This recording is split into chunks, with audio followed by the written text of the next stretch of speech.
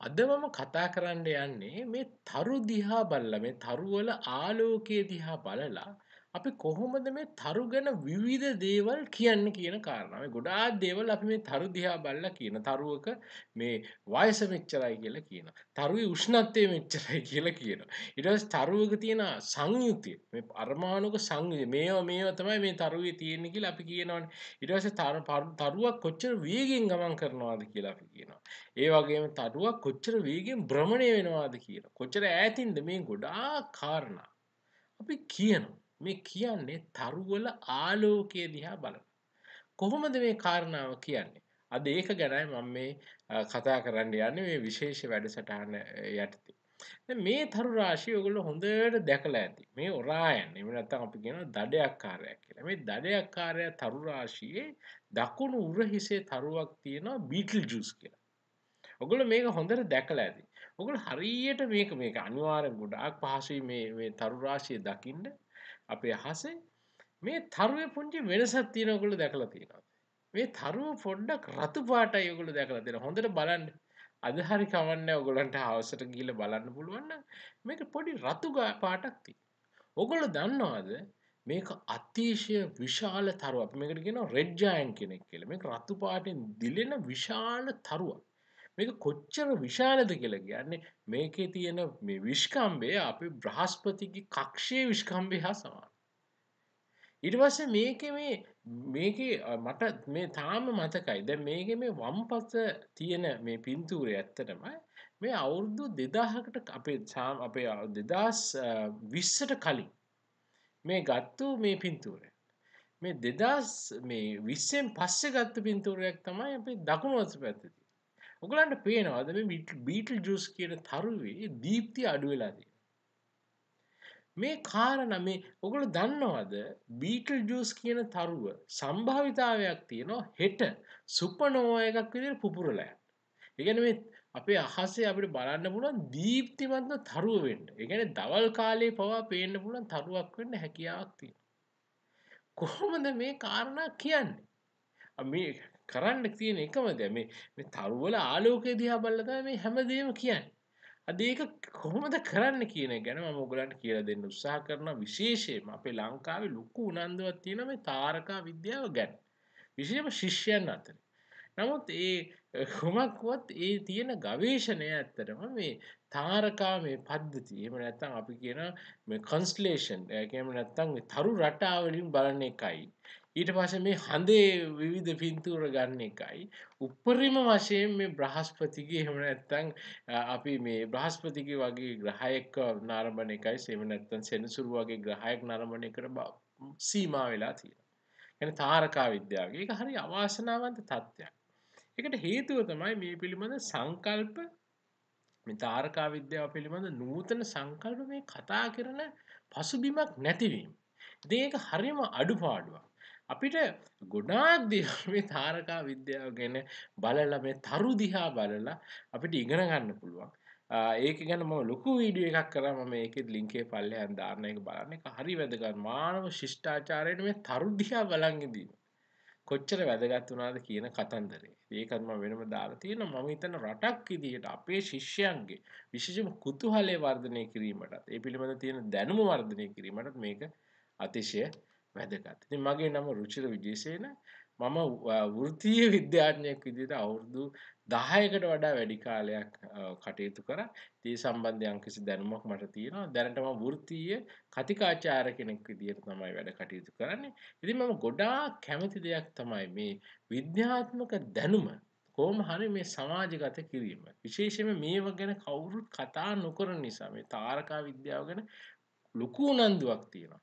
නමුත් මේ මූලික සංකල්පවත් සමාජගත වෙලා නැහැ. ඒක හරි අඩුපාඩුවක් විදිහට දකිනවා. ඉතින් මේ අඩුපාඩුව සපුරන්න මූලික වශයෙන් හරි යමක් කරන්න තමයි මගේ උත්සාහය තියෙන්නේ. දැන් අද මම කතා කරන්නේ මේ සාම්ප්‍රදායික වර්ණාවලි විශ්ලේෂණ. අපි කියන ස්පෙක්ට්‍රම් ඇනාලිසිස් කියලා. මේ විශ්ලේෂණ මගින් කොහොමද මේ තාරකා විද්‍යාත්මක ගවේෂණ කරන්න කියන මේක මූලික සංකල්පයක්.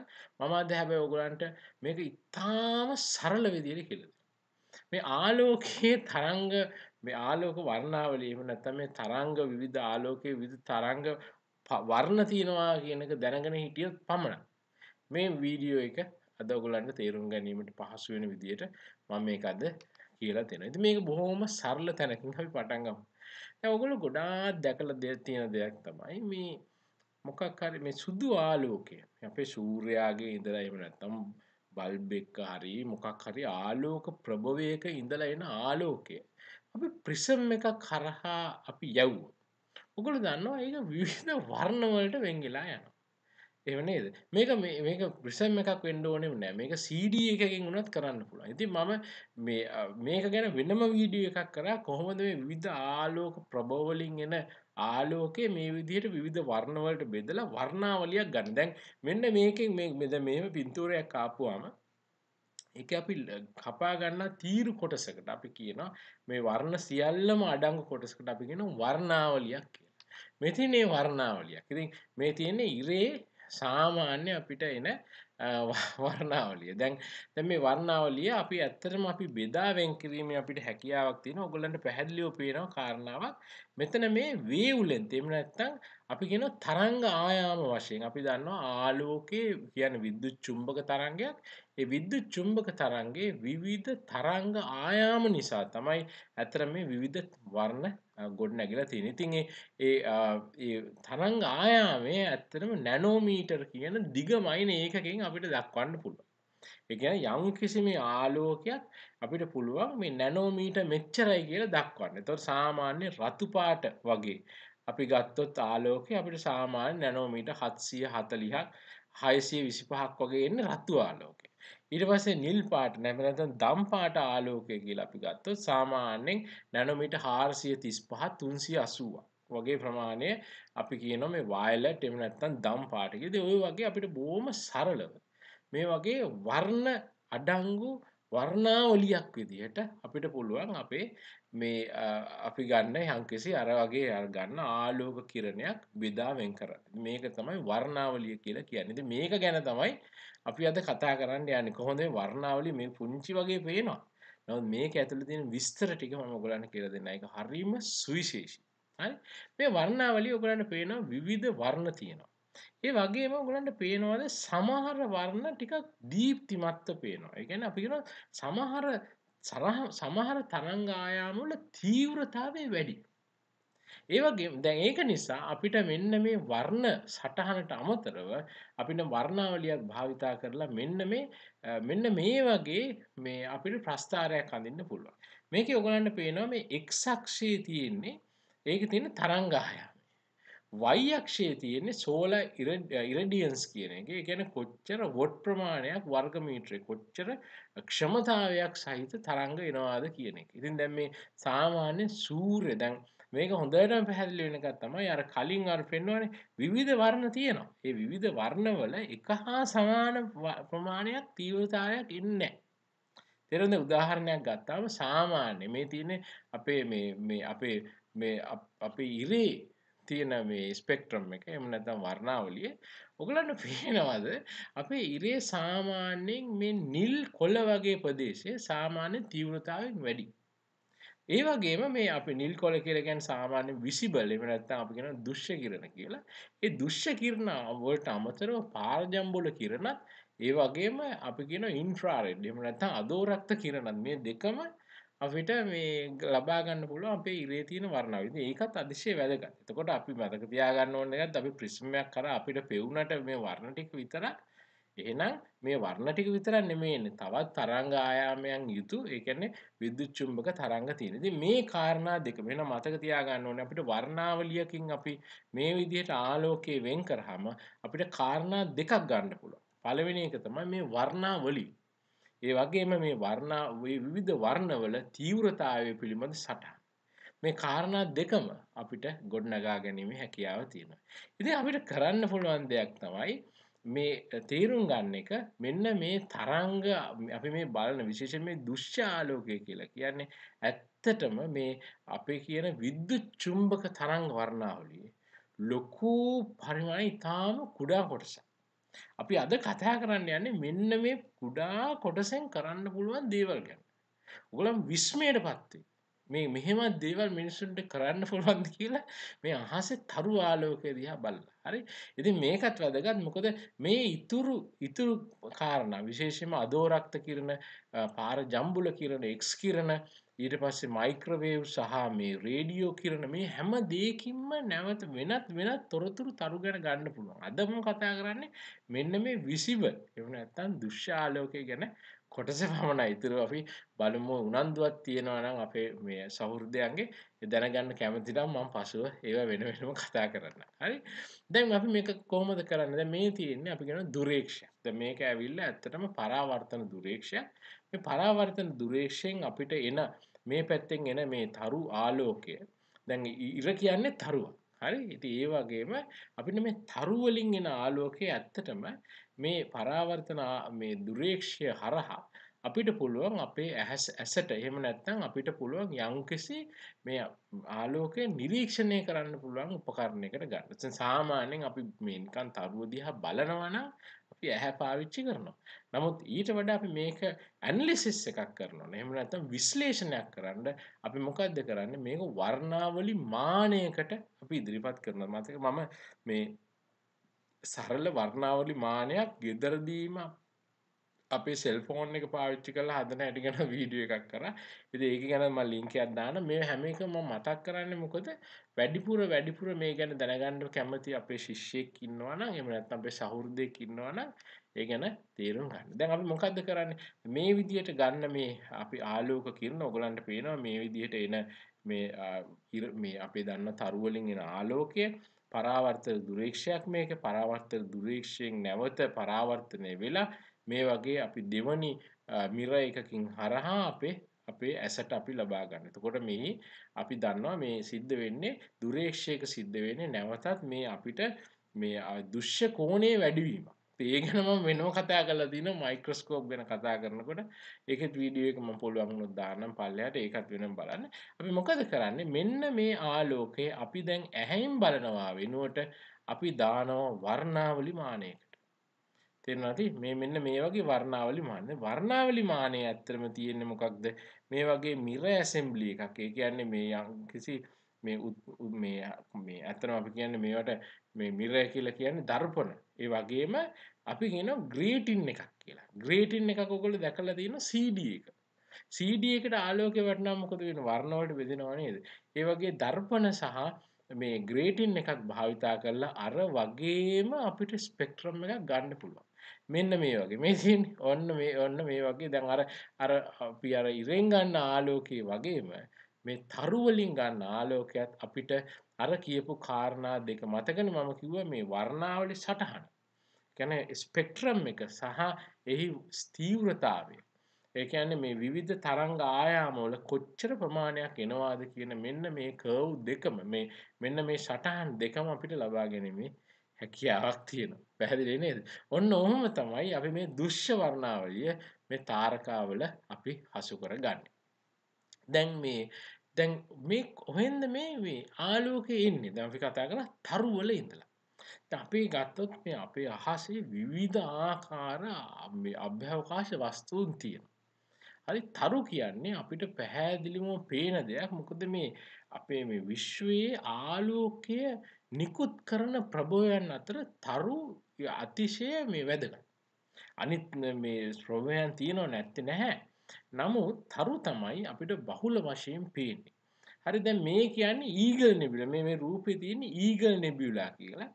මේ මේ ඊගල් නෙබියුලා කියන හරිය වැදගත්. දැන් උගලන්ට පේනවද මේ පුංචි පුංචි මේ කොටස් මෙන්න මේ වගේ මේ වගේ කොටස් තියෙනවා. මේක හරි මේක ඇත්තටම හබල් දුරේක්ෂයෙන් ගත්තු පින්තූරයක් මේක ඊගල් නෙබියුලා. මේකට කියනවා මේ ස්ටාර්ස් බර්ත් ප්ලේස් කියලා. මේ ඔයගලන්ට පේනවද මේ නෙබියුලා එකක් කියලා කියන ඇත්තටම දූලි එහෙම නැත්නම් ගෑස් වලාවක්. විශේෂයෙන්ම හයිඩ්‍රජන් වලින් හැදිච්ච ප්‍රධාන වශයෙන් උගලන්ට පේනවද මේ හයිඩ්‍රජන් එකතු වෙලා මේ පුංචි පුංචි උල් වගේ තැන් හැදෙනවා. මේ නෙබියුලා එක ආලෝක වර්ෂ ගණනාවක් දිගයි ඈ. ඒ කියන්නේ මේක ලේසි වාසු දිගක් නෙමෙයි. හරි ගොඩාක් විශාල එකක්. ඔයාලට පේනවද මේ පුංචි පුංචි තැන් මේ ඇත්තටම මේ ඉරවල් ඉරවල් නෙමෙයි ඇත්තටම තරු හැදෙන හැටි. මේ තරු මොකද වෙන්නේ? අර නෙබියුලා වල තියෙන ඒ ගෑසස් ඇවිල්ලා එක එක ළඟ එක ළඟ තැම්පත් වෙලා ගුරුත්වය නිසා මොකද වෙන්නේ? අර එක ලොකු ස්කන්ධ ගෝලයකට එනවා. මේ ස්කන්ධ ගෝලයකට දැන් අපි දන්නවා මේ වගේ පද්ධති එකතු වෙනකොට ගුරුත්වය නිසා මොකද වෙන්නේ? ගුරුත්වය සෑම විටම කේන්ද්‍රය වෙත යොමු වෙන බලයක්. එතකොට මොකද වෙන්නේ? මේ වගේ ලොකු අර තියෙන ස්කන්ධය ඇතුළට තෙරපීමට ලක්. තේරුණා නේද? මේ දැන් මේ මේ කොළ පාට රූපේ මේ කොළ පාට ඊතලෙන් පෙන්වලා තියෙන ඔයගලන්ට පේනවා තෙරපෙනවා ඇතුළට. පද්ධතියක් විදිහට තෙරපෙනවා. එතකොට මොකද වෙන්නේ? යමක් තෙරපෙනකොට මොකද වෙන්නේ? ලොකු මේ උෂ්ණත්වයක් එහි තුල හටගන්න. විශේෂයෙන් මේ උෂ්ණත්වය අධිකම වෙන්නේ මේ තරුවේ මැද්දේ. අපි කියන කෝ එකක. මේ තරුවේ මැද්දේ මේ තරුවේ මැද්දේ කොච්චර උෂ්ණත්වය වැඩි වෙනවද කියලා කියනවා නම් මේ නියුක්ලියර් ෆියුෂන් වීම සඳහා. මේ මේ කියන්නේ මේ පරමාණු ගැටිලා එකමත එක ගැටිලා මේ නියුක්ලියර් ෆියුෂන් කියන. මම මේ ඒක මේ සිංහල වචන දාන්න. මේ හයිට්‍රජන් පරමාණු එක මත එක ගැටල වෙනත් පරමාණු ඇතිව. තත්ත්වයට මේ උෂ්ණත්වය වැඩින නිවක්ලිය ෆෂන් වෙන්නේ ඇතරම අධික උෂ්ණත්වල මේ අධික උෂ්ණත්වය නිසා මේ ඇතිවර මේ නිවක්ලිය ෆෂන් වල නිසාමකොද වෙන ලොකු මේ වටේ තියෙන ගෑසස් වල ලොකු පීරණයක් ඇති ලොකු පිපුරුමක් වගේ මේක. මේක දිගට දිගට එක දිගට ඇතිවෙන පිපුරුමක් වගේ. මේක හිතා ගන්නවත් බැරි ප්‍රමාණය? මේක ලොකු ප්‍රෙෂර් එකක්. ඒ කියන්නේ ලොකු පීඩනයක් පිටතට තියෙනවා. මේ තරුවක සිද්ධ වෙන්නේ මේ පිට ඇතුළට තියෙන මේ ගුරුත්වාකර්ෂණය නිසා තියෙන පීඩනයත් එළියට ගුරුත්වාකර්ෂණ නිසා ඇතුළට තියෙන පීඩනයත් මේ ඇත නිවක්ලියර් ෆියුෂන් නිසා එළියට තියෙන පීඩනය බැලන්ස් වෙලා තමයි මේ තරුවක් පවතින්නේ තේරුණා නේද? ඉතින් ওই විදිහට දැන් මේ තියෙන්නේ ඒ ෆියුෂන් රියැක්ෂන් එක. දැන් ප්‍රධාන ෆියුෂන් රියැක්ෂන් මේ තුනක් තියෙනවා. විශේෂයෙන් මේ හයිඩ්‍රජන් පරමාණු දෙක. අපි දන්නවා හයිඩ්‍රජන් තමයි මූලිකම අපේ විශ්වයේ තියෙන මූලිකම පරමාණු. එක ඉලෙක්ට්‍රෝනය එක ප්‍රෝටෝනය. මොකද වෙන්නේ මේ මේ හයිඩ්‍රජන් කියන පරමාණු දෙකක් එකිනෙකට ගැටලා ෆියුස් වෙලා මේ කියන්නේ මේ ඒවා සම්බන්ධ වෙලා හැදෙනවා මේ ඩියුටීරියම් කියලා හයිඩ්‍රජන් වල සමස්ථානික. ඒක තමයි මුලින්ම හැදෙන්නේ. ඊට පස්සේ ඩියුටීරියම් සහ හීලියම් නැවත එකතු වෙලා මොකද වෙන්නේ ඩියුටීරියම් සහ ඩියුටීරියම් කියන්නේ හයිඩ්‍රජන් වල සමස්ථානිකයක් ඩියුටීරියම් සහ හයිඩ්‍රජන් නැවත එකතු වෙලා හීලියම් කියන අලුත් පරමාණුවක් හැදෙනවා එතන හීලියම් හීලියම් නැවත එකතු වෙලා ඔයගලන්ට පේනවා හීලියම් සහ තවත් හයිඩ්‍රජන් පරමාණු දෙකක් හැදෙනවා හීලියම් වල ඉහළ සමස්ථානිකයක් සහ හයිඩ්‍රජන් පරමාණු දෙකක්. ඉතින් මේකයි දිගින් දිගට දිගින් දිගට සිද්ධ වෙනවා. මේ තියෙන විශේෂත්වය තමයි ඔයගොල්ලෝ විශ්වාස කරනවා. විශේෂයෙන් මෙන්න මේ අපි ගත්තොත් දැන් මේ හයිඩ්‍රජන් මේ පරමාණු දෙකේ ස්කන්ධයට වඩා මේ හැදෙන පරමාණු ස්කන්ධය පොඩ්ඩ අඩුයි. ඒ අඩුවෙන ස්කන්ධය මොකද ඔයගොල්ලෝ විශ්වාස කරනවාද ඒක ශක්තිය බවට පත් වෙනවා. අර E සමානයි mc වර්ගය කියලා ඉක්වේෂන් එකක් අහලා තියෙනවනේ. අන්න මේ ඉක්වේෂන් එක යෙදෙන තරක් විතර. ඒ ඊටාම කුඩා ශක්ති ප්‍රමාණයක් වුවත් ඒ ඒ සිද්ධ වෙන වෙනස එහි ආලෝකයේ ප්‍රවේගී වර්ගයෙන් වැඩි වෙලා ලොකු ශක්ති ප්‍රමාණයක් බවට පත් වෙනවා. ඉතින් මේක අධික ප්‍රෝගලන්ට පේනවා මේ මේ ඇත්තටම අපේ සූර්යයා. සූර්යයා කියන්නේ තරුවක් ඇත්තටම. මේ කොච්චර කොච්චර ඉහළ උෂ්ණත්වයකට මේ කාරණාව සිද්ධ වෙනවාද කියලා සාමාන්‍යයෙන් අපේ සාමාන්‍ය උෂ්ණත්වය අපේ ඉරේ නම් ඉර කියන්නේ අපේ අපේ තරුව. හරි? අපි ආදරය අපේ අපිට ජීවය දෙන අපේ තරුව තමයි ඉර කියලා කියන්නේ. සාමාන්‍යයෙන් මේ පෘෂ්ඨයේ උෂ්ණත්වය අපේ ඉරේ පෘෂ්ඨයේ උෂ්ණත්වය සාමාන්‍යයෙන් මේ සෙල්සියස් 5500කට වගේ. අධික උෂ්ණත්වය. තේරුණා නේද? තා ඊතා ඉහළ උෂ්ණත්වයකට යනවා. මේකේ ඇතුලේ උෂ්ණත්වය ඊට වඩා ගොඩාක් වැඩි. හරි? දැන් මේ මෙතනින් මේ වැඩේ නවතින්නේ නැහැ. දැන් මේ හීලියම් මොකද වෙන්නේ? හීලියම් නැවත නැවත ගැටෙනවා.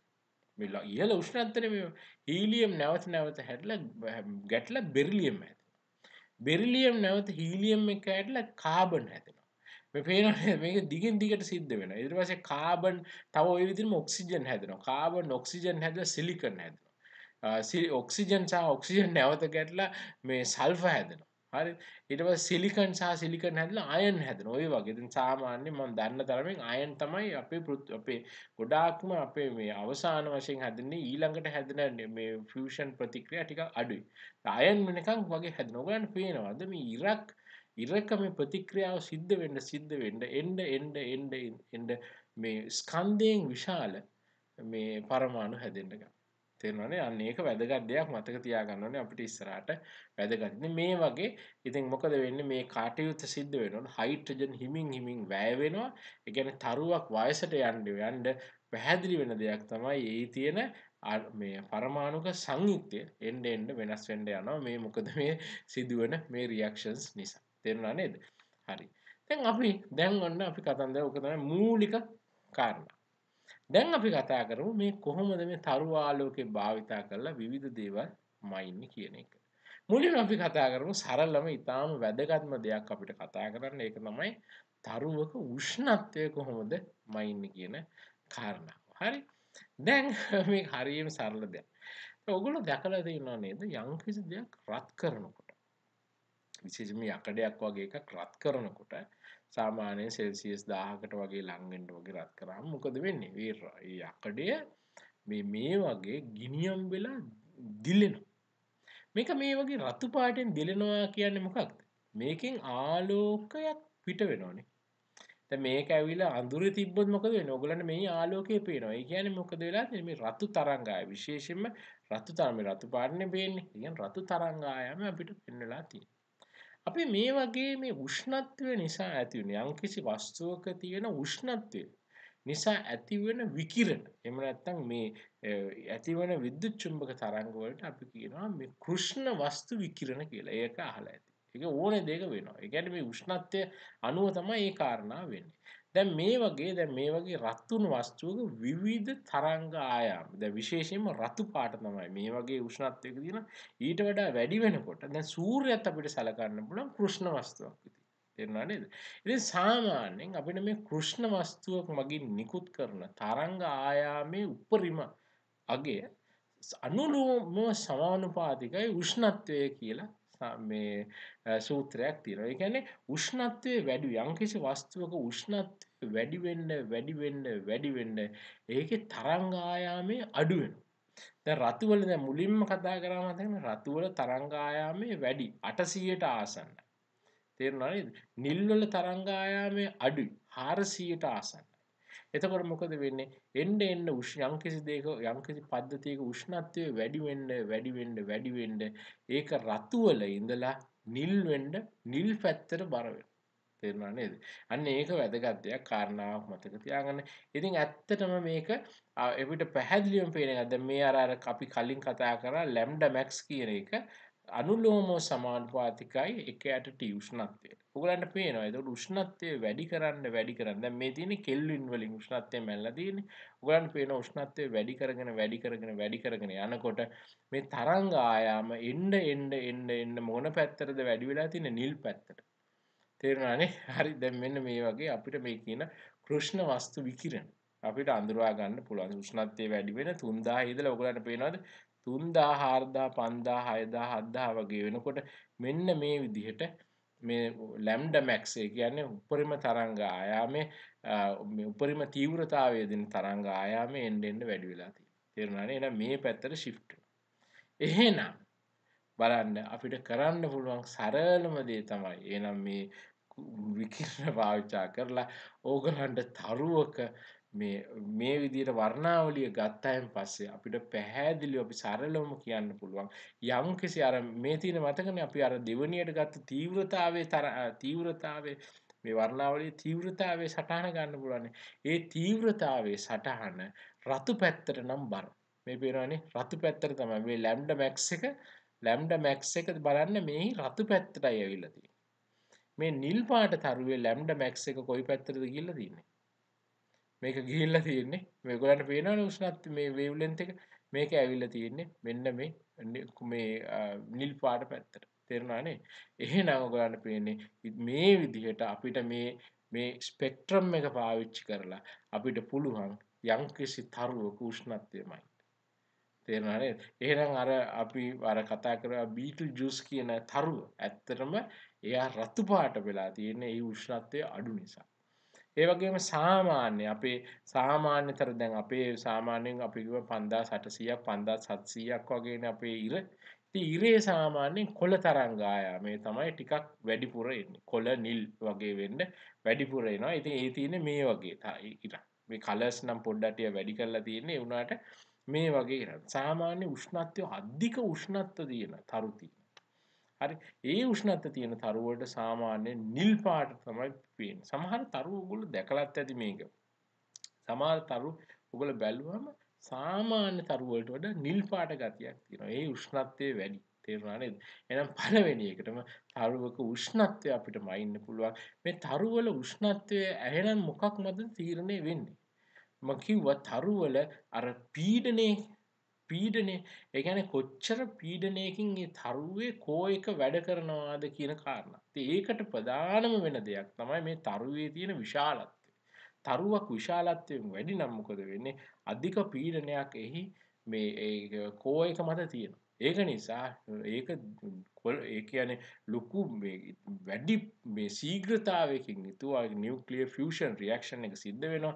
ඒක නිසා ඒක උෂ්ණත්වය වැඩි. ඒක නිසා ඒක නිල් පාටින් දෙනවා. නමුත් සාමාන්‍යයෙන් අපේ තියෙන මේ ඉන්න අපේ අපේ තරුව මේ වගේ. ඒ කියන්නේ එයා අඩුත් නෑ, එයාගේ උෂ්ණත්වය අඩුත් නෑ. වැඩිත් නෑ හරියටම අපිට ගැලපෙන විදිහටම තියෙනවා. උෂ්ණත්වය ඔයගොල්ලෝ විශ්වාස කරනවා අපි තරු මේ අපි ඉර මේ හරිය හරි මේ හරිය හරි තිබුණොත් ඇත්තටම අපේ පෘථිවිය කියලා දෙයක් ජීවය කියන එක ඔබ මම අපි ඉන්නවාද කියලා හිතන්න අමාරුයි. ඉතින් මේ විදිහට අපිට පුළුවන් මේ අපිට පුළුවන් මේ තරුවල විවිධ ක්ලාසස් අපි කියන OBA FG KM කියලා. මේ තියෙන උෂ්ණත්වය සහ විශාලත්වය අනුව අපිට පුළුවන් මේ අපිට ඇත්තරම තරු වර්ගීකරණයක් කරන්න. ඒ වගේ මතක් කරන්න ඕනේ මේ තියෙන බේලා මේ බිටල් ජූස් කියන තරු ගලන් පේන කොච්චර විශාලද කියලා. තේරුණා නේද? ඒ කියන්නේ මේක රෙඩ් ජයන්ට් කෙනෙක්. ඒ වගේම වයිට් ඩ්‍රොෆ් කියලා තාරකාවල් සුදු වාමන තරු කියලා අහලත් ඒගොල්ලෝ ඒවා ඊටාම කුඩයි. නමුත් ඒ වගේ මේ ඇත්තනම නිල් පාටින් දිනනවා. ඒක වෙනම කතන්දරයක්. ඒක පසු වෙලාවක කියලා දෙන්න. තේරුණා නේද? ඉතින් මේක ඔයගලන්ට පේනවා පැහැදිලිවම අර OBA දැන් මම කලින් පෙන්නුවේ දැන් බලන්න O කියලා කියන්නේ O කියලා කියන්නේ සාමාන්‍ය නිල් පාට තරු. නිල් පාට. මේ M කියලා කියන්නේ රතු පාට තරු. ඒ කියන්නේ උෂ්ණත්වයේ අඩු. ඔයගලන්ට පේන්න බලන්න මේ ස්පෙක්ට්‍රම් දිහා මේ වර්ණාවලිය දිහා බැලුවම ඕවල තරංග ආයම ඔයගලන්ට පේනවා නිල් පාට ගතිය වැඩි රතු පාට අඩුම එන්නෙම නැතිතා ඊට පස්සේ M කියලා කියන්නේ රතු පාටින් පේන එකනේ. නිල් පාට තරංග ආයම එන්නෙම නැති තරම් වැඩිපුර ඇවිල්ලා තියෙන රතු. පේනවා නේද? ඒ වගේම සාමාන්‍ය උෂ්ණත්වය. දැන් අපේ ඉරට සාමාන්‍යයෙන් 5800ක් 5700ක් නේ ඔයගලන්ට පේනවා නේද? නිලුයි රතුයි අතරමැද්දේ කොළ ටිකක් වැඩි පැත්තට වෙන්න ඇවිල්ලා තියෙනවා. තේරුණා නේද? අන්න. තරුවක උෂ්ණත්වය එහෙනම් සෞර්දීනේ අපිට ඒ තරංග ස්පෙක්ට්‍රම් එක දිහා බලලා මයින්ඩ් පුළුවන්. තේරුණා නේද? අපි ඊළඟට යමු මේ තරුවක පරමාණුක සැකැස්ම. මොනවද? තරුව මොනවයින්ද හැදිලා තියෙන්නේ කියන එකත් ඇත්තටම පුළුවන් මේ තරුවක තියෙන වර්ණාවලිය දිහා බලලා කියන්න. තේරුණා නේද? දැන් මේකත් හරිය සරල දෙයක්. දැන් මෙතනදී සිද්ධ වෙන්නේ ඇත්තටම දැන් මම කලිනුත් කතා කරා දැන් හිතන්න ආලෝක ප්‍රභවයක් තියෙනවා. ඒ ආලෝක ප්‍රභවයේ ආලෝකය අපි මේ වගේ ප්‍රිසම් එකක් හරහා යවනවා. ගියාම අපිට මෙන්න මේ වගේ අපිට සන්තතික ඒ කියන්නේ මේ හිස්තැන් නැතිව අපිට ලස්සන තරංග ආයාමයක් එනවනේ. තේරෙනවද? ඒ කියන්නේ තනත ආයාමෙන් නෙමෙයි ස්පෙක්ට්‍රම් එකක්. ඒ මොනද වර්ණාවලියක් එනවා. හැබැයි මොකක්ද සිද්ධ වෙන්නේ? හිතන්න මෙන්න මේ මේ අපේ මේ මේ ප්‍රභවයයි ඒ ප්‍රභවයයි ප්‍රිසම් එක අතර මැද්ද අපි තිබ්බා කියලා හිතන්න මෙන්න මේ වගේ මේ යම්කිසි ගෑස් එකක් එහෙම නැත්නම් වායුවක් මේ වායුවල තියෙන ස්වභාවය තමයි වායුවලට පුළුවන් සමහර තරංග ආයාම සුවිශේෂී තරංග ආයාම අවශෝෂණය කරන්න. තේරෙනවද අපි මේකට කියනවා අවශෝෂණය මේ තරංග ආයාම අවශෝෂණය කරනවා කියලා. ඒක නිසා මොකද වෙන්නේ? මේ එන මේ කන්ටිනියස් ස්පෙක්ට්‍රම් ඒ කියන්නේ සන්තතික මේ මේ අපේ කියන්නේ මේ වර්ණාවලියේ තැනින් තැන හිස් තැන් පේන්න ගන්න. තේරුණානේ තැනින් තැන හිස් තැන් පේන්න ගන්න. ඒක වෙන්නේ දැන් උදාහරණයක් විදිහට ඒක දැන් මේ තියෙන හයිඩ්‍රජන්. මේ හයිඩ්‍රජන් කියන එකේ ඔයගොල්ලෝ දන්නවා මේ හයිඩ්‍රජන් සෝරි මෙතන H2 නෙමෙයි අතරම හයිඩ්‍රජන් කියන ඇටම් එක අපි ගන්නෙ. මේ හයිඩ්‍රජන් කියන්නේ ඔයගොල්ලෝ දන්නවා ඉතාලම සරලම පරමාණු. මේ පරමාණුවේ දින විවිධ ශක්ති මට්ටම්. මේ මේ මේ මේ හයිඩ්‍රජන් වල තියෙන එකම ඉලෙක්ට්‍රෝනය විවිධ ශක්ති මට්ටම් වලට පැනලා නැවත එනකොට තමයි අපි කියනවා මේ හයිඩ්‍රජන්ට පුළුවන් විමෝචන වර්ණාව. ඒ කියන්නේ ඔයගලන්ට පේනවාද මේ ශක්ති මට්ටම් වලට පයින්න නිශ්චිත දුර්වල ප්‍රමාණයක් තියෙනවා. මේක ගැන වෙනම කතා කරා විශේෂයෙන්ම මේ ක්වොන්ටම් යාන්ත්‍ර විද්‍යාව යටතේදී. හරි ඉතින් ඔයගලන්ට පේනවාද මෙන්න මේ මේ පැනීමක් සඳහා යම්කිසි ශක්තියක් අවශ්‍යයි. අන්න ඒ ශක්තිය තමයි ඇත්තටම මේ උරාගන්නේ අර එන කන්ටිනියස් ස්පෙක්ට්‍රම් තේරුණා නේද? ඇතන මේක අනිත් පැත්තත් හරි. ඒ කියන්නේ අපි මේක හයිඩ්‍රජන් අරගෙන හයිඩ්‍රජන් අරගෙන අපිට මේ අපි අරගෙන හයිඩ්‍රජන් වලට අපි යම්කිසි ශක්තියක් දුන්නාම හයිඩ්‍රජන් විසින් මේ විවිධ මේ ආලෝක මේ ඒ තීරු ඒ වර්ණාවලි තීරු පවා ගොඩනගලා දෙයක අපි කියන හයිඩ්‍රජන් විමෝචන වර්ණාවලිය කියලා. දැන් මෙතනදි සිද්ධ වෙන්නේ හයිඩ්‍රජන් හරහා ආලෝකය එහෙම නැත්නම් හයිඩ්‍රජන් වෙන්න ඕනේ ඕනෑම එලිමන්ට් එකක් කරහා ආලෝකය යනකොට ඒ එලිමන්ට් එකේ තියෙන ඉලෙක්ට්‍රෝන විසින් ශක්තිය අවශෝෂණය කිරීමෙන් මෙන්න මේ වගේ හිස් තැන් හැදෙනවා. තේරුණා නේද?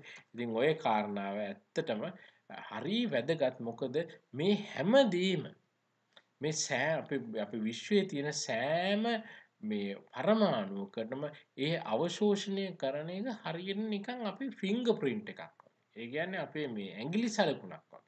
අපිට හරියටම කියන්න පුළුවන් මේ ඇබ්සෝබ් කරලා තියෙන්නේ මෙහෙම පැටර්න් එකක් දැකපු ගමන් මේක ඇබ්සෝබ් කරලා තියෙන හයිඩ්‍රජන් මේක ඇබ්සෝබ් කරලා තියෙන හීලියම් මොකද ඔයගලන්ට පේනවද? මේ හයිඩ්‍රජන් වල තියෙන ඉරි මේ පේනවනේ තියෙන තැන්. ඒ තියෙන රතු වල නිල් වල කොළ වල දැන් ඔයගලන්ට පේනවද? අනිත් පරමාණු වල ඒ තැන් වල එහෙමම නැහැ. තේරෙනවද නේද හීලියම් කොට නම් මේ වගේ ගොඩාක් ලයින්ස් එනවා. මේ කියන්නේ ඇබ්සෝප්ෂන් ලයින් කියලා කියන්නේ. මේවා ඒ අනිත් ඒවා වගේ නෑ. තේරෙනවද මේ එතකොට මෙන්න මේ වගේ යම්කිසි ස්පෙක්ට්‍රම් එකක් අපිට ඇනලයිස් කරොත් අපිට මේ පොසිෂන් එක හරියටම දන්න නේද? මේ මේ පොසිෂන් එක හරියටම මේ මේ වේව් ලෙන්ත් වල මේ නැනෝමීටර් වලින් මේ ලයින් එක එන්නේ හයිඩ්‍රජන් වල මෙතන කියලා හරියටම අපි දන්නවා ඒක නිසා අපිට යම්කිසි ස්පෙක්ට්‍රම් එකක් ගත්තොත් ඒ ස්පෙක්ට්‍රම් එකෙන් මොන වායුන්ද වායු මිශ්‍රණයක් දැම්මත් අපිට හෙවීමේ හැකියාව තියෙනවා. ඔන්න ඔය කාරණාව ඔයගොල්ලෝ විශ්වාස කරනවාද? තරුවක් ඇතුළේ වෙනවා. තරුවක් මම කිව්වා අධික උෂ්ණත්වයක තියෙන. ඒක නිසා මොකද වෙන්නේ? කෘෂ්ණ වස්තු විකිරණ නිෂ්පාදනය කරනවා. මේ යන විකිරණ මොකද කරන්නේ? එළියට එන්නේ ඒ ඒ ඒ ඒ තරුව වටා තියෙන මේ වායුන් හරහා. ඉතින් මොකද වෙන්නේ? ඒ වායුන් ඒ මේ මේ තියෙන තරංගායාම අවශෝෂණය කරනවා. අවශෝෂණය කරලා මේ වගේ පුංචි පුංචි හිස්තැන් තියෙන තරංගා වර්ණාවලියක් තමයි අපිට එන්නේ. ඉතින් අපි මොකද කරන්නේ මේ තරංග වර්ණාවලියද මේ තියෙන ඒක නැවත රූපයක්. මේ තියෙන්නේ මෙන්න මේ වගේ අර ඉරේ තියෙන කෘෂ්ණ වස්තු විකිරණ වගේ මේ වගේ කන්ටිනියුස් සන්තතික මේ තරංග වර්ණාවලියක් හැදෙනවා. නමුත් මොකද වෙන්නේ? ඒ වටේ තියෙන වායුන් මොකද එකතු වෙලා අර විවිධ තරංග ආයාම අවශෝෂණය කරන හින්දා හිස්තැන් සහිත මේ වගේ වර්ණාවලියක් තමයි එළියට එන්නේ.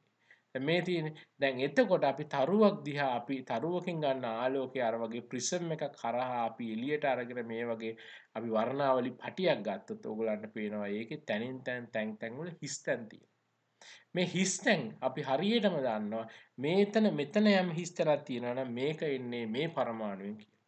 මෙතන හිස් තැනක් තියෙනවා නම් ඒක එන්නේ මේ පරමාණුවෙන් කියලා දන්නවා. තේරුණා නේද? එහෙනම් අපිට මේ තරුව වටේ තියෙන මේ සංයුතිය මොකක්ද කියලා හරියටම කියන්න පුළුවන්. තේරුණා නේද? හරි මේ තියෙන අපේ ඉරේ. අපේ ඉරේනොත් අපිට ඔහොම ගන්න පුළුවන්. මේ තියෙන අපේ ඉරේ තියෙන ස්පෙක්ට්‍රම් එක. එහෙම නැත්නම් වර්ණාවලිය. ඔයගලන්ට පේනවා මේ ගොඩාක් මේ වගේ ලයින්ස් තියෙන මේ වගේ ඉරි ඉරි තියෙනවා. උදාහරණයක් විදිහට මේ D කියලා කියන්නේ ඇත්තටම මේ D කියලා කියන ඔයගලන්ට පැහැදිලිව පේනවා ගොඩාක් තදට පේන එක. මේ ඇත්තටම සෝඩියම් නිසා ඇතිවන අවශෝෂණය. මේ ඊට පස්සේ H කියලා තියෙන මේ සිම්පල් H ලයින්ස් මේ තියෙන මෙතන තියෙනවා ඊට මෙතන තියෙනවා මේ තියෙන ඊට පස්සේ මේ H ලයින්ස් ඇවිල්ලා ඇත්තටම හයිඩ්‍රජන් නිසා ඇති හයිඩ්‍රජන් ඊට පස්සේ මේ K ලයින් කියලා තියෙන මේ KK මේ K කියලා කියන්නේ කැල්සියම් නිසා ඇති ඔයගොල්ලන්ට පේනවනේ එහෙනම් අපේ ඉර වටේ මේ තියෙන විවිධ ඊට පස්සේ මේ ඔක්සිජන් වල ඇතිවීම.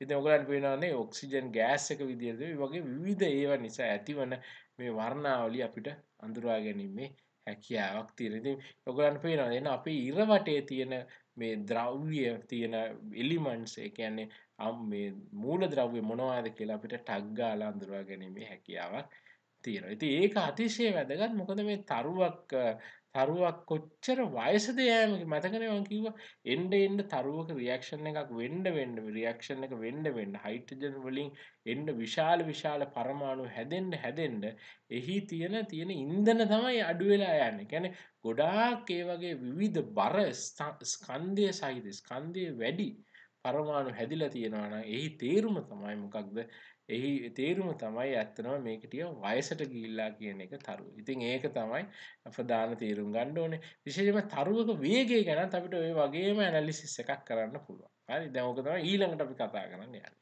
දැන් ඔයගොල්ලෝ හොඳට මේක දන්න මේ හිතන්න සයිරන් එකක් ගහගෙන ඇම්බියුලන්ස් එකක් ඔයාගේ වෙතට එනවා. ඔයාට මොකද වෙන්නේ? ඒ ඇහෙන සද්දේ, ඒ ඇම්බියුලන්ස් එකේ සද්දේ ඔයාට තීව්‍රතාවයකින් වැඩි වෙලා නේද ඇහෙන්නේ? ඒ වගේම ඇම්බියුලන්ස් එකක් ඔයා පාස් කරගෙන යනවා. එතකොට ඒ තීව්‍රතාවය එකවර අඩු වෙනව නේද? මේක දැන් මේක දුම්රියක් අර සද්දේ නලාව නාද කරගෙන එන දුම්රියකිනුත් මේක හොඳට අහන්න පුළුවන්. දැන් දුම්රියක් නලාව නාද කරගෙන අපි වෙත එනකොට ශබ්දය අපිට තීව්‍රතාවය වැඩි වගේ දැනෙනවා. ඒ වගේම අපි දුම්රිය පසු කරලා යනකොට තීව්‍රතාවය අඩු වෙනවා. මේ තීව්‍රතාවය කියන්නේ තීව්‍රතාවය කියන්නේ මේ සංඛ්‍යාතය වැඩි වෙලා ටිකක් අර ඉහළ මේ මේ සංඛ්‍යාතයකින් තමයි අපිට මේක ඇහෙන්නේ. ඒක තීව්‍රතාවය වගේ තමයි අපිට අර අපේ ඇසට අපේ මේ කනට මේක තේරෙන්නේ. මේ ඇත්තටම වෙන්නේ සංඛ්‍යාතය වැඩි වෙනවා. ඒ කියන්නේ තරංගයක් නිෂ්පාදනය කරන කෙනා තරංගය අපේ ග්‍රහණය කරන කෙනයි අතර සාපේක්ෂ වේගය සෑමිටම අඩු වෙනවා නම් මොකද වෙන්නේ සෑම විටම තරංග ආයාමය අඩු වෙනවා. ඒ වගේම ඒ දුර හැමතිස්සෙම වැඩි වෙනවා දිශාවට නම් තියෙන්නේ මොකද වෙන්නේ තරංග ආයාමයේ මේ තරංග ආයාම අඩු වෙනවා ඒ වගේම තරංග ආයාමය වැඩි වෙනවා. ඉතින් මේක ආලෝකයටත් එහෙමයි. යම්කිසි දැන් ඉර කියලා එහෙම නැත්නම් තරුවක් කියලා කියන්නේ අපි දන්නවා ඇත්තටම මේ තරුවක් කියලා කියන්නේ මේ වගේ මේ ආලෝකය නිෂ්පාදනය කරන කෙනෙක්. එතකොට තරුවක් අපෙන් ඉවතට ගමන් කරනකොට මොකද වෙන්නේ? අපි කියනවා එහි තරංගායාමේ ටිකක් වැඩි වෙනවා. මේකට කියනවා අපි රෙඩ් ෂිෆ්ට් එකක් කියලා. මොකද රෙඩ් ෂිෆ්ට් කියලා කිව්වේ ඔයගොල්ලෝ දන්නවා රතු තරංගායාමේ තමයි තරංගායාමේ ටික මේ වැඩි. රෙඩ් ෂිෆ්ට් එකක් වෙනවා කියලා කියනවා. ඒ වගේම තරුවක් අපි වෙතට ගමන් කරනවා නම් කලින් හිටපු තැනේ ඉඳලා තරුවක් අපි වෙතට ගමන් කරනවා නම් තරංග ආයාමය අඩු වෙලා අපිට පේනවා. මේකට කියන බ්ලූ ෂිෆ්ට් එකක් කියලා. තේරුණා නේද? අපි කොහොමද රෙඩ් ෂිෆ්ට් එකක් හරි බ්ලූ ෂිෆ්ට් එකක් හරි අඳුරගන්නේ? ඒක හරි පහසුයි. දැන් හිතන්න මේ මුකුත් ගමන් නොකරන තරුවක ඔගොල්ලෝ දන්නවා හරියටම මේ පරමාණුක අවශෝෂණ වර්ණාවලියේ ස්ථාන කොහෙද එන්න ඕනේ කියලා. මේක ලැම්ඩා 1, ලැම්ඩා 2, ලැම්ඩා 3 ඔය වගේ වෙන්න ඕනේ හැන හරියටම අපි දන්නවා. නමුත් හිතන්න අපි වෙතට එන අපෙන් ඈතට යන තරුවක මොකද වෙන්නේ? අර රෙඩ් ෂිෆ්ට් එක නිසා මොකද වෙන්නේ? මේ තියෙන මේ මේ තියෙන පැටර්න් එක මේ තියෙන ලයින් එක මේ ෂිෆ්ට් වෙනවා. ඒ කියන්නේ ඒක වෙන් වෙලා ඈතට වෙනවා ඒක රතු පැත්තට. තේරුණානේ? ඊට පස්සේ අපි වෙතට එන තරුවක් නා දැන් තරුව අපි වෙතට එන එන එකක් නා මොකද වෙන්නේ? අර තියෙන ලයින්ස් හැම එකක්ම නිල් පැත්තට බර වෙනවා blue shift and red shift තේරුණා නේද? එතකොට මේ මෙන්න මේ අතර වෙනස භාවිතා කරලා මේ blue shift එක හරි red shift එක අතර වෙනස වෙනස භාවිතා කරලා අපිට කැල්කියුලේට් කරන්න පුළුවන් ඇත්තටම කොච්චර වේගෙන් තරුවක් අපි වෙතට එනවද අපෙන් ඉවතට යනවද කියන කාරණාව. තේරුණා නේද? ඉතින් මේක තව දුරටත් භාවිතා කරනවා. දැන් විශේෂයෙන්ම මේ තරුවක් අපි මේ පරිභ්‍රමණය වෙමින් ගමන් කරනකොට මොකද වෙන්නේ එක්තරා අවස්ථාවකින් අපෙන් ඉවතටත් එක්තරා අවස්ථාවක අපි වෙතටත් එනවා කියලා සලකන්න පුළුවන්. එතන ඔයගලන්ට පේනවා නේද? ඒ අපිට තියෙන සාපේක්ෂ වේගය අනුව අපිට ඔයගලන්ට පේනවා නේද? මේ තරුවේ තියෙන වර්ණාවලිය අර අපි දැන් මේක හයිඩ්‍රජන් ලයින්ස් කියලා හිතන්නකෝ හයිඩ්‍රජන් වල අවශෝෂණ ලයින්ස් කියලා ඒවා මේ විදිහට ෂිෆ්ට් වෙනවා. ඒ කාලයත් ඒ ප්‍රවේගයත් එක්ක. ඉතින් මේක අතිශය වැදගත් ගොඩාක් මේ තඩු පද්ධති එහෙම නැත්නම් ග්‍රහලෝක පද්ධති වලින් එන වේගයට පවා මේක අපිට අපිට මෙහෙම භාවිතා කරලා ඒ වේගයන් කැල්කියුලේට් කිරීමේ ගණනය කිරීමේ හැකියාව තියෙනවා තේරුණා නේද ඒ වගේම අපි අන්තිමට කතා කරන්න යන්නේ දැන් මේ තරුවක වයස කොහොමද මයින්නේ කියලා. දැන් තරුත් වයසට යනවා. මොකද විශේෂයෙන්ම මේ හයිඩ්‍රජන් ඒ විශේෂයෙන්ම ඉන්ධන විදියට තියෙන හයිඩ්‍රජන් හයිඩ්‍රජන් වැය වෙන්න වැය වෙන්න වැය වෙන්න ඉහළ ඉහළ මේ ස්කන්ධයෙන් වැඩි පරමාණු නිෂ්පාදනය වෙන්න යනවා. ඉතින් මෙතකොට මොකද වෙන්නේ? එන්න එන්න තරුවේ වයසට වැඩිවීමක් අපිට දැක ගැනීමේ හැකියාවක් තියෙනවා. දැන් මේ තරුව අපි කොහොමද මේ වයසට යන එක අපි හොයාගන්නේ? දැන් මතකනේ අපි මේ වගේ මේ අපි මේ වගේ දුරීක්ෂයක් භාවිතා කරලා අපිට පුළුවන් අර වර්ණාවලි තීරුවක් ගන්නත් වර්ණාවලි විශ්ලේෂණයක්. ඒ කියන්නේ මේ වගේ ග්‍රාෆ් එක ඉන්ටෙන්සිටි එකත් එක්ක ග්‍රාෆ් එකක් ගැනීමේ හැකියාවක් තියෙනවා. අපිට කරන්න පුළුවන් දෙයක් තමයි මේ වගේ ඉන්ටෙන්සිටි කියන්නේ මොකක් හරි තීව්‍රතාවය යම්කිසි වේව්ලෙන්ත් එකක යම්කිසි ඒ කියන්නේ වේව්ලෙන්ත් එකක් කියන්නේ තරංග ආයාමයක මේ තීව්‍රතාවය අපි බලාගෙන ඉන්නවා. දැන් මොකද වෙන්නේ? කාලයක් තිස්සේ මෙහෙම බලාගෙන ඉන්නකොට අපිට පැහැදිලි වෙන එකක් තමයි මේ තීව්‍රතාවය අඩු වැඩිවීමක් සිද්ධ වෙන මොකද හේතුව ඕනෑම තරුවක මෙන්න මේ වගේ අඳුරු ලප. ඒ කියන්නේ සාමාන්‍යයෙන් තරුවල පෘෂ්ටයේ තියෙන මේ වගේ පුංචි පුංචි මේ දීප්තියෙන් අඩු ඒවා. දැන් මේ තරුව කැරගෙනකොට මොකද වෙන්නේ අර ඒ තරුවේ තියෙන දීප්තිය අඩු වෙනවා වැඩි වෙනවා අඩු වෙනවා වැඩි වෙනවා මොකද මේ මේ අපි කියන මේ කළු ලප නැවත මතුවීමත් නැවත අපිට පේන අපේ මානයෙන් අපිට පේන අපේ දෘෂ්ටියෙන් අයින් වීම. මොකද මේක පරිභ්‍රමණය වෙනවනේ. පරිභ්‍රමණය වෙනකොට එක මොහොතක දීප්තිය වැඩි වෙනවා, තව මොහොතේ දීප්තිය අඩු වෙනවා. දැන් මේ විදිහටම මොකද වෙන්නේ? තරුවක් වයසට යන්න වයසට යන්න ඒ චුම්බක ක්ෂේත්‍රය සහ මේ ඇතිවන වායූන්ගේ තියෙන මේ ඉන්ටරැක්ෂන් එක. ඒක අසින්ද වෙන යම්කිසි අන්තර්ක්‍රියාවක් නිසා මේක හරියටම තේරුම් ගන්න නැහැ ඇයි වෙන්නේ කියලා. මේ තරුවක මේ කැරකෙන වේගය අඩු වෙනවා තේරුණා නේද? දැන් සාමාන්‍යයෙන් මිලියන 100 කියන්නේ බොහොම තරුණ. ඒ කියන්නේ තාම තරුණ මේ තරුවක් ගත්තොත් දැන් ඒක වේගෙන් වේගෙන් ඔයගලන්ට පේනව නේද මේ මේ කාලයක මේ දිනවලින් ගත්තා මේ එහි දීප්තිය වැඩි වෙනවා අඩු වෙනවා වැඩි වෙනවා අඩු වෙනවා ඊටාම වේගෙන්. නමුත් සාමාන්‍යයෙන් වයසට ගිය තරුවක් ගත්තාම එහි වෙනස් වීම ටිකක් අඩු වෙලා තියෙනවා. නමුත් ගොඩාක් පරණ කියන්නේ මේ මැරෙන්න ඕන්න මෙන්න දින තරුවක ඇත්තටම මේක ඊටාම හිමින් තමයි මේ කටයුතු සිද්ධ වෙන්නේ. තේරුණා නේද? ඉතින් එහෙනම් මෙන්න මේ වගේ මේ පැටර්න් එක ඔබ්සර්ව් කරලා ඒ පැටර්න් එක කොච්චර වේගෙන් ඉහළ මෙහෙට යනවද කියන එක අපිට පුළුවන් මේ පරිභ්‍රමණය වීමේ වේගයමයි. ඒ පරිභ්‍රමණය වීමේ වේගය මන්නාම අපිට පුළුවන් chart එකක් තියෙනවා ඒ සඳහා ඒ තරුවක තියෙන මේ අපිට හැකියාව තියෙනවා එහි තියෙන මේ වයස ඇත්තටම මැන ගැනීමට. ඉතින් ඒ වගේම තවත් වැදගත් දෙයක් තමයි මේ තරුවල තියෙන මම කිව්වා එන්න එන්න මේ තරුවල තියෙන හයිට්‍රජන් තමයි මූලිකම ඉන්ධනය වෙන්නේ ඒක එන්න එන්න ඉහළ ස්කන්ධයකින් යුතු පරමාණුවලට හැරෙනවා කියලා.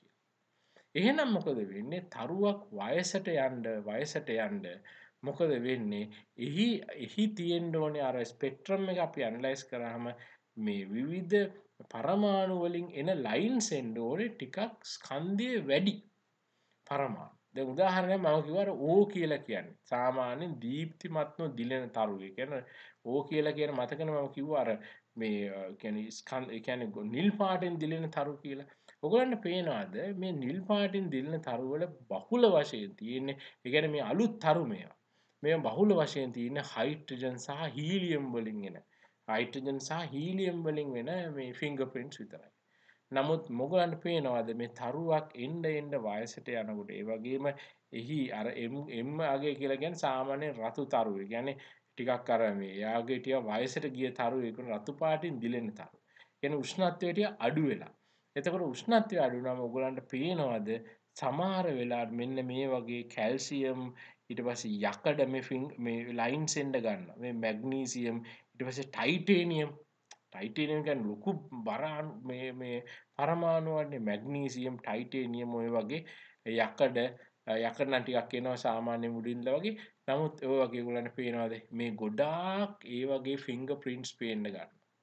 ඒ කියන්නේ මේ වගේ තරුවල එන් ගොඩාක් එක වයසට ගිහිල්ලා මොකද හයිඩ්‍රජන් ප්‍රතික්‍රියා වෙලා වෙලා වෙලා ඉහළ ස්කන්ධ තියෙන පරමාණු වලට මේක ඇවිල්ලා තියෙනවා. තේරුණා නේද? ඉතින් ඒකත් එක විදිහක් ඇත්තටම මේ දැන් එතකොට අර කලින් කතා කරපු විදිහයි මේ කතා කරපු විදිහයි ඒ වගේම තව විදිහක් ඒක තමයි තරුවක් වේගෙන් කැරගෙනකොට මොකද වෙන්නේ?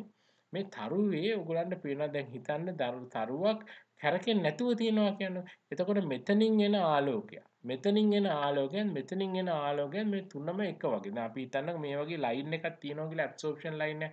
ඒක හරි පැහැදිලිව අපිට පේනවා. ඊටාම තීව්‍රව ඊටාම මේ පටු විදියට අපිට පේනවා. නමුත් තරුවක් කැරකෙනකොට මොකද වෙන්නේ? තරුවක් කැරකෙනකොට තරුවේ හිතන්න මෙන්න මේ අතර කැරගෙනවා කියලා. ඒ කැරගෙනකොට මේ එක පැත්තක් අපි වෙත. දැන් මේ හරියනම් ඉන්නේ අපි බලාගෙන ඉන්නේ එක කොටසක් අපි පැත්තට තමයි ඇවිල්ලා තියෙන්නේ. අනිත් කොටස අපෙන් එලියට ගිහිල්ලා තියෙනවා. එහෙනම් මේ පැත්ත මොකද සිද්ධ වෙන්න ඕනේ? මේ පැත්තේ ඇවිල්ලා බ්ලූ ෂිෆ්ට් එක. මේ පැත්තේ ඇවිල්ලා රෙඩ් ෂිෆ්ට් එක. ඔයගලන්ට පේනවද මේ පැත්තේ ඇවිල්ලා තරංගායම අඩු වෙලා තියෙනවා මේ පැත්තෙන් තරංගායම වැඩි වෙලා තියෙනවා. මේක නිසා මොකද වෙන්නේ? අර යම්කිසි හයිට් මොකක් හරි පරමාණුක ලයින් එකක් තියෙනවා නම් ඒ ලයින් එක ඇත්තටම මේ පළල වැඩි වෙනවා ඒ ලයින් එක. ඒ කියන්නේ ඒ ප්‍රමාණය වැඩි වෙනවා.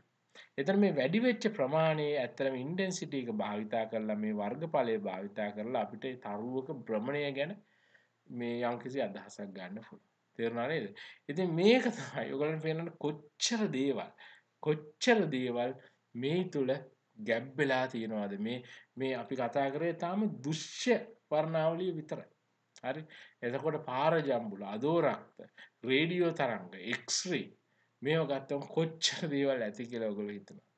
අන්න ඇස්ට්‍රොනොමි කියන්නේ අන්න ඒකයි. මේ කන්ස්ටලේෂන් දිහා බැලීම විතරක් නෙමෙයි. තේරුණා නේද? ඒක අතිශය වැදගත් දෙයක්. ඉතින් අද අපේ සටහන විශේෂයෙන්ම මේ තාරකා විද්‍යාව ගැන ලොකු උනන්දුවක් දක්වන අපේ සෞහෘදයන් වෙනුවෙන් මම හිතනවා මේ වීඩියෝ එක පොඩි හරි විදියට ඔයගොල්ලන්ට වැදගත් වෙන්න ඇති කියලා. ඉතින් මේ මෙරස මේ වැඩසටහන ගෙනීමට ලැබීම ගැන මම ගොඩාක් සතුටු වෙනවා. නැවතත් මේ වගේ වැඩසටහනක අපි හම්බ වෙනකම් ඔයගොල්ලෝ හැමෝටම මේ වීඩියෝ එක බලපු බොහොම ස්තුතියි කියමින් මගේ වචන ටික අද අවසන් කරනවා.